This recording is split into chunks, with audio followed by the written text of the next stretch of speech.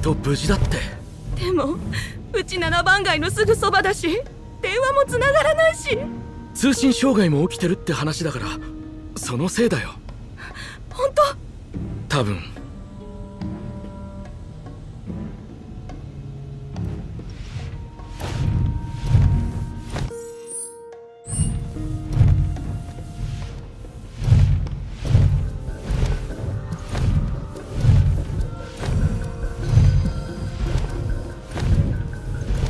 重役会の結果次第ではプレートの再建と町の復興を並行して進めることになる。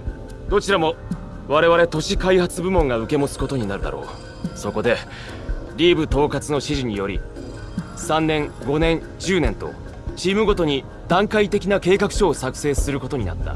また忙しくなると思うが早急に進めてほしい。何か質問がある者は？なければ統括が戻るまで待機だ。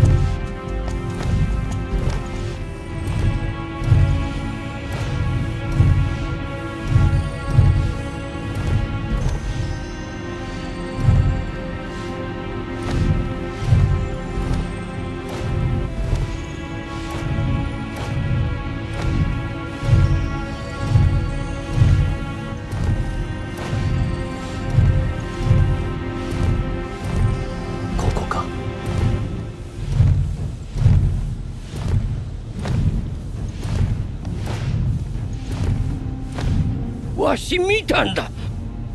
廊下を歩いているのをしっかりとこの目で。不確かな情報をばらまくな。いやいやいやこう目の前を通っていってもうびっくりしすぎてちょっと痩せたんだやから。ないか。ねえ侵入者に関してはうちで対処している。あでもプレジデントわし本当に。リーブはい。7番街の被害報告が出ました。倒壊した家屋の数が暗いニュースは結構。え？他にないのか？では7番プレートの再建計画について。再建はしない。古代種の協力が得られることになったからな。いえだからといって再建しないわけにはさんねネオミッドガルよ。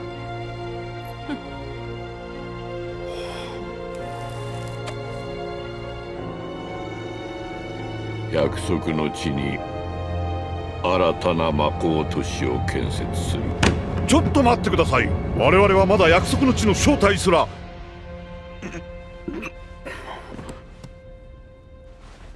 北条博士。検査結果は予想通りだ純血種だった母親より数値は下がるが古代種と呼んでも差し支えないだろう。約束の地はいつ頃わかる？その件で提案がある。自発的な協力を強制的に引き出す方法を試してみないか。大事な古代種だ。壊さないように最大限の注意を払う。拷問なら私に任せて。戦場仕込みでよければ俺も手伝おう。肉体よりも精神的に痛めつけるやり方が私は好きでね。うひょ。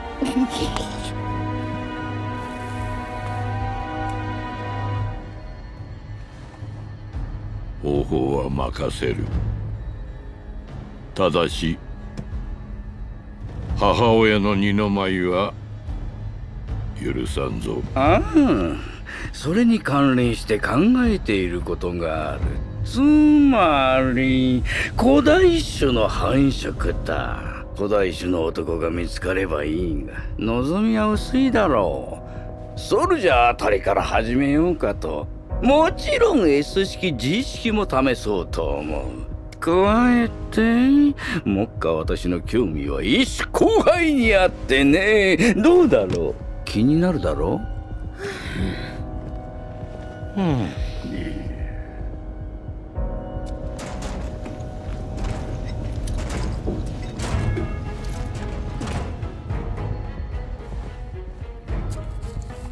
他になければ。プレジデント？解散とする。待ってください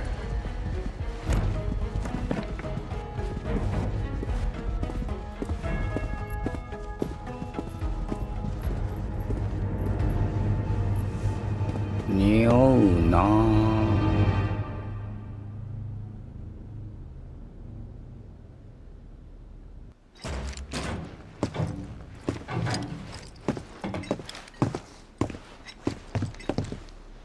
どんな感じだ？白衣の男を追う。そいつが科学部門統括の北条だ。よっしゃうまくいったな。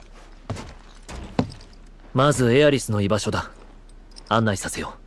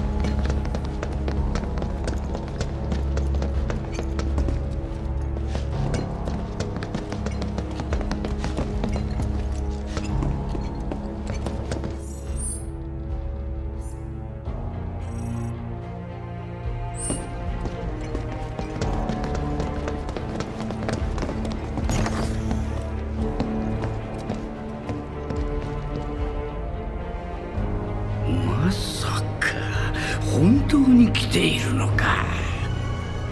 面白い。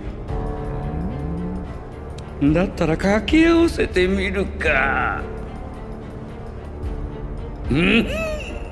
どんな子供になるか。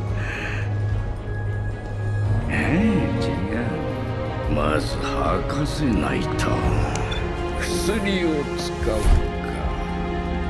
壊れなければいいが。行くぞ。おう